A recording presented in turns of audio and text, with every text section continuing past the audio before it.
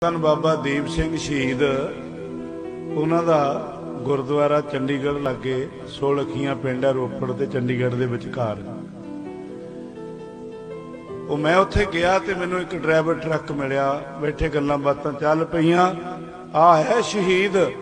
ਕਹਿੰਦੇ, ਪਿੱਛੋਂ ਫੋਨ ਆ ਗਿਆ, ਰਾਜਸਥਾਨ ਦਾ ਮੈਂ ਰਹਿਣ ਵਾਲਾ। ਕਿ 50000 ਰੁਪਈਆ ਕੱਲ ਨੂੰ ਚਾਹੀਦਾ, ਬੱਚੇ ਦੀ ਫੀਸ ਭਰਨੀ ਹੈ।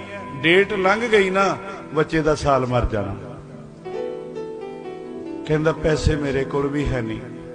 ਡਰਾਈਵਰ ਕਹੇ, ਟਰੱਕ ਡਰਾਈਵਰ, ਟਰੱਕ ਉਹਨੇ ਉੱਥੇ ਖੜਾ ਕੀਤਾ, ਲੋਡ ਕੀਤਾ ਸੀ। ਬੜੇ ਟਰੱਕ ਰੁਕਦੇ ਨੇ। ਮੈਂ ਇੱਕ ਗੱਲ ਸ਼ਹੀਦ ਦੀ, ਕਿਤੇ ਵਿਸ਼ਵਾਸ ਕਰਕੇ ਦੇਖੋ।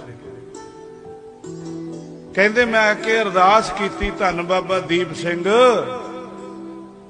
ਮੇਰਾ ਮਸਲਾ ਹੱਲ ਕਰੋ।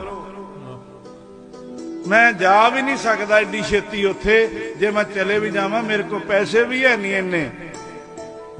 ਕਹਿੰਦੇ ਉਧਰ ਮੈਂ ਅਰਦਾਸ ਕਰਕੇ ਨਿਕਲਿਆ ਤੇ ਉਧਰ ਘਰੋਂ ਫੋਨ ਆ ਗਿਆ ਕਿ ਇੱਕ ਬਜ਼ੁਰਗ ਆਇਆ ਸੀ, ਉਹ 50000 ਰੁਪਇਆ ਦੇ ਗਿਆ ਕਿ ਤੁਹਾਡੇ ਡਰਾਈਵਰ ਨੇ ਭੇਜਿਆ। ਬੋਲੇ